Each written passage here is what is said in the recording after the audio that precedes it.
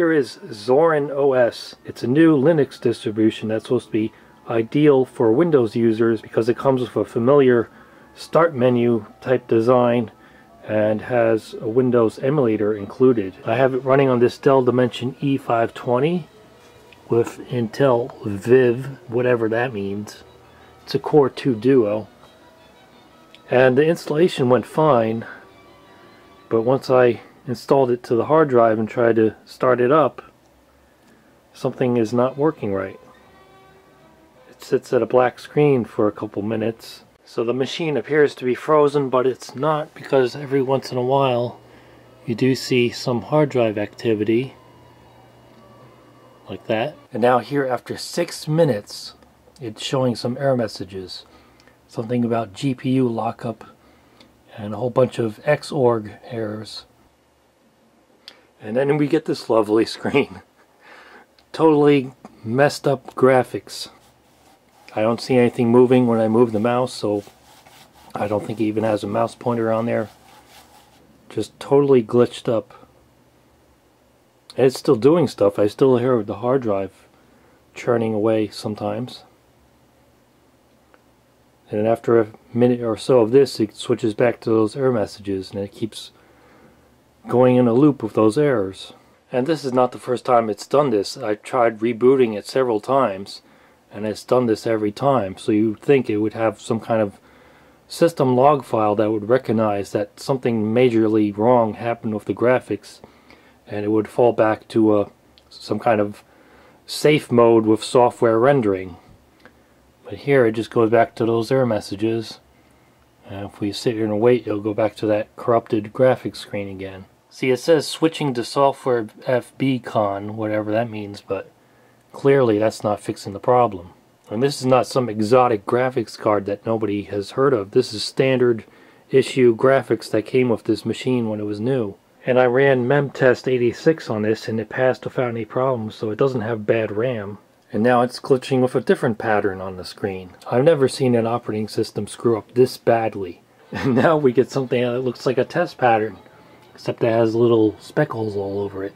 Normally when I have a problem with Linux, people give me a list of commands to type in at the terminal to fix it. But in this case, I'm not even getting that far. It just stuck in this loop of error messages and graphical corruption. And this is why people bash Linux. Because as long as everything's working, it's great. But the minute something goes wrong, it fails to give the user any indication of exactly what has happened and what to do to fix it. So the user is forced to search obscure and cryptic error messages and try to figure out what they mean and how to fix them, usually involving going on various online forums where everybody has a different answer to the same problem. So at this point, the average user would just give up and go back to Windows. And like I said, this is not some obscure hardware that nobody's heard of. Dell has probably sold millions of machines just like this. So if the Linux community can't write drivers for hardware like this that actually works, they really need to get their act together before they start pitching Linux as an ideal replacement for Windows. Because on a machine like this, Windows works perfectly fine, and Linux clearly doesn't. And the problem is not a faulty installation DVD, because I was able to install Zorin OS on this machine,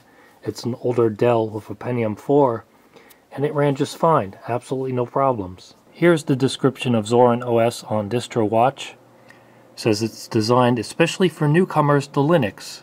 It has a Windows-like graphical user interface and many programs similar to those found in Windows. Also comes with an application that lets users run many Windows programs. It says its ultimate goal is to provide a Linux alternative to Windows and let Windows users enjoy all the features of Linux without complications. Yeah, that sure doesn't look like without any complications to me. And just to prove that the graphics card in this thing isn't the problem, here it is running Haiku. I have the web browser running and everything.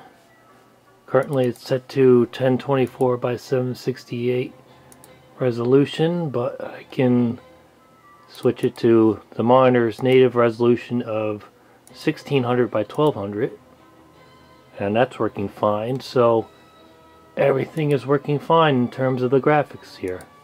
So the hardware is not at fault and here's Windows 7 Ultimate 64-bit running on the same computer.